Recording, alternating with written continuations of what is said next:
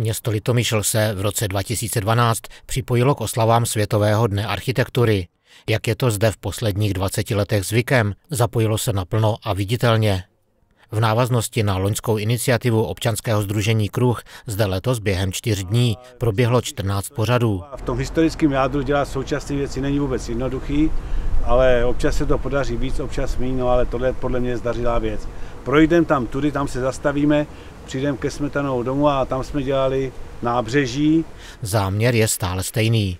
Upozornit veřejnost na kvalitní soudobou architekturu. Zatímco současný starosta Litomyšle provázel zájemce staveništěm revitalizace zámeckého návrší, jeho dlouholetý předchůdce ukazoval návštěvníkům to, co se zde v oblasti moderní architektury realizovalo v uplynulé době. Moderní architektura to nejsou jen domy. V Litomyšli se architektonické soutěže vypisují i na veřejná prostranství jako třeba atrium pedagogické školy nebo nábřeží řeky Loučné, realizované v rámci revitalizace panelového sídliště v centru. Úplně ideální to není, tam jsme udělali pobytový most, ten dobrý záměr se někdy zvrhne v opak. Tohle místo se skultivovalo, škoda, že to skončilo u té první etapy, že se to nedotáhlo, že ten dotační titul pak eh, byl zastavený. My jsme byli vždycky připraveni, když se objevil nějaký dotační titul, tak jsme měli spoustu věcí připravených. Samozřejmě umrtnost nějakých, nějakých projektů je, takže ono to vypadá, že se nám spousta věcí nepovedlo nebo neudělali jsme, ale to je tím, že jsme byli vždycky nachystáni možná na 200% toho, co se dalo udělat. Tady je rokový klub, tam mělo být kino, tam máme zpracovaný projekt eh, v Mašlích do posledního detailu, není to hotový. Projekty, soutěže, spolupráce s architekty a byli jsme dost napřed před ostatními městy. Oni nám záviděli, ale to byla jejich věc, že, že neměli, neměli prostě nic připraveného. Včera jenom odbočím a to se vrátím. Včera v kině byl film o, o architektuře, někdo jste tam byl, jsem viděl, že tam někdo byl. A nakonec byla beseda o těch panelových domech o barevnosti. Bohužel, snažili jsme se přesvědčit majitele, ale pro mě třeba tahle zelená je teda docela příliš ostrá, kdybych to řekl jemně. Hlavně osmi patrák, rudej, nahoře, no, to je hrůza. to je to samý. Příkladem řešení, které se realizovalo i na jiném místě ve městě, jsou garážová stání skrytá pod dětským hřištěm. Vzhledem k tomu, jak mnoho se v Litomyšli nachází kvalitní soudobé architektury, použili organizátoři Archimyšle 2012 k prohlídce autobus. Následující zastávkou byla základní škola se sportovní halou podle projektu architektonické kanceláře Burián Křivinka, dokončená v roce 1998. O fenoménu Litomyšle, kde se tak silně setkává minulost se současností, hovořil před lety při otvírání rekonstruovaných klášterních zahrad historik architektury profesor Rostislav Švácha jako o litomyšlském zázraku. Že tento v uvozovkách zázrak stále trvá, vypovídá názorně i právě vydaná speciální brožura nebo nástěný kalendář na rok 2013, pokřtěný 29. září při besedě v zámeckém pivovaru. Beseda s veřejností proběhla v sobotu večer v prostorách rekonstruovaných podle projektu Josefa Pleskota. Uznávaný český architekt se spolu se svými brněnskými kolegy besedy osobně zúčastnil a také zde promluvil k zásadním tématům nedávné minulosti i současnosti. Z diskuze zúčastněných vyplynulo, že nápor nekvalitní architektury 90. let 20. století se litomyšli vyhnul, také díky tomu, že na poput tehdejšího starosty byla do nově zřízené funkce městského architekta angažována Zdena Vidrová. Ta dohlížela na urbanismus a byla u všech architektonických soutěží. Město dokonce prodávalo své pozemky soukromým investorům až ve chvíli, kdy bylo přesně jasné, co se na nich bude stavět.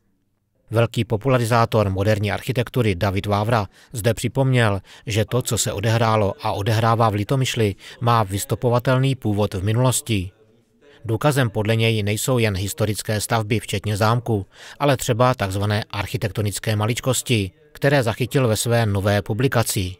Mezi zajímavostmi z celé České republiky je hned šest z Litomyšle. A nebyl by to on, kdyby k obrázkům nesložil hned verše. A pro nás byla teda krásná teda eh, jak metelákově realizace jednak toho globu a jednak teda i na růžovým paloučku mříže. Jmenuje se to Globus vlastenectví. Převratností bere dech meteláků svět v obrazech. Komenství všech Čechů Čech. V Litomyšli se pracuje dobře, protože dostáváme zadání. Já jsem nikdy neměl pochybnost o tom, že v Litomyšli dělám věc pro něco a že ta věc bude eh, umět být taky operovaná, že bude užívaná, že to nakonec prostě, že se zasadí všichni o to, aby stavba nevznikla jenom jako výtvarný dílo, jenom prostě eh, kvůli tomu, aby byla eh, jenom krásná. To prostě vzniká kvůli tomu, aby byla krásná a aby byla komplexně užívaná. Ono je to taky těžký přece to pak zvládat ty, ty naše stavby, které mají spoustu všelijakých nedokonalostí a něco všechno, ale prostě prostě dokázat to dovést do té komplexnosti, aby ta stavba byla potom i radostně užívaná, to je prostě zase práce těch politiků. Nejzásadnějším výstupem litomyšlské besedy bylo prohlášení účastníků k tomu, jak se v poslední době zhoršila situace v oblasti zadávání veřejných stavebních zakázek. Josef Pleskot řekl, že platný zákon, podle kterého zásadně vítězí nabídka s nejnižší cenou, nezaručuje, že realizován bude nejlepší a nejkvalitnější projekt, nejlepší nápad. Jak se očekávalo, na závěr zazněl apel, který byl pojmenován Litomyšlská výzva. Litomyšl je město, ze kterého se vidí kriticky. Proto tato výzva právě tady a právě nyní. Za prvé, vyzýváme politiky na všech úrovních, aby kvalita architektury veřejných staveb se stala předmětem jejich zájmu a byla zařazena do politických programů jejich stran. Vždyť jedině osvícení politikové mohou formulovat zadání pro vznik dobré architektury. A za druhé vyzýváme profesní organizace, aby se vehementně zasazovali o nejvyšší kvalitu všech typů soutěží. Všech typů soutěží, nejenom tu blbou architektonickou, které vedou k zadávání veřejných zakázek, veřejných stavebních zakázek. Vždy, vždyť je to jejich hlavním posláním. Nic jiného od nich nechceme, od těch komor. Tak to je k Mezinárodnímu dní architektury v Litomyšli 29. září 2019. 12.